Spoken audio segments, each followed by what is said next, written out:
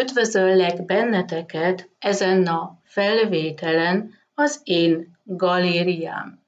Én azokat a képeket, azokat a festményeket szeretném nektek mutatni, ami engem elbűvöl.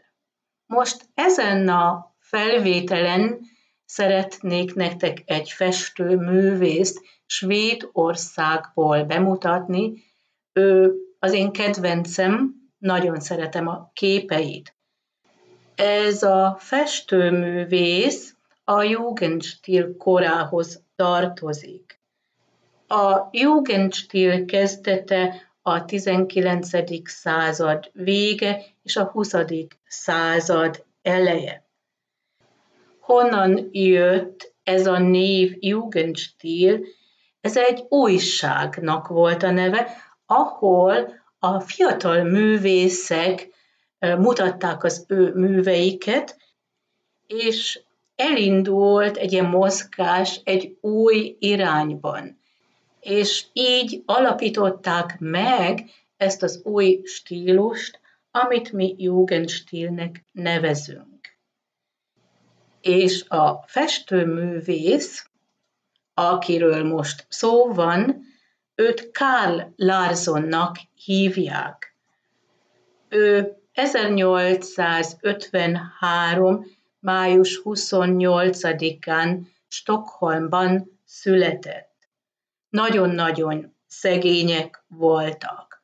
Az ő tanárja észrevette, hogy milyen tehetséges ez a fiú, és ajánlotta neki a művészi akadémiát, segítette is őt ebben, így került Karl Lanson a Királyi Művészi Akadémiába. És ott tanult.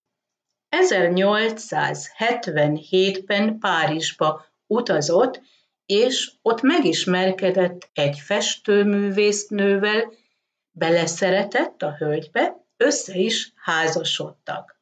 Később visszakerültek Svédországban, és kaptak ajándékba egy kis házat. Azt ők rendbe tették, ki is festették, természetesen.